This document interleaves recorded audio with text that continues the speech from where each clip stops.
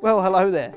Joe and Andy from the Kings of Bayview. And today we're at 8 Randal Place in Bayview. And we've got a property here that promises to impress any family who's looking for a modern house with an awesome outdoor entertainment area. Sitting on its own full site of 746 square metres and in a quiet cul-de-sac, the property is also fully fenced and features a sliding gate across the driveway, which is great if you've got young kids or pets.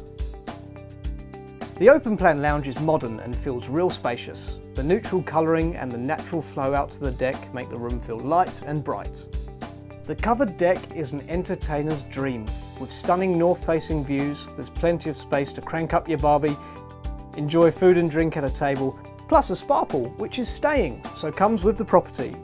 As well as the roof over the deck, there's also quality outdoor blinds that zip closed, meaning the deck can be used all year round in any weather.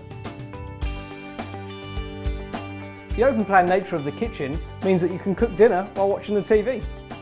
And whoever on the washing up duty can also keep an eye on the kids outside. And in this kitchen, we're cooking with gas. All three bedrooms are great sizes and all have built-in wardrobes. The master bedroom and the second bedroom both feature double wardrobes. But there's more to this home. Downstairs there's a spacious laundry and workshop area, a great place to store the beers and throw a few darts with friends. There's also a rumpus room, which the current owners have set up as a fourth bedroom. The fully fenced and flat garden will be popular with the kids. There's heaps of space to kick a ball around, plus a patio area, perfect for the trampoline. Parking wise, you're in for a treat. The two carports offer ample covered parking, big enough to back a boat into. Plus, the driveway is easily big enough to park another four cars. Full site properties like this are very popular and a stunning house like this should sell very quickly. So call us now to make a private viewing.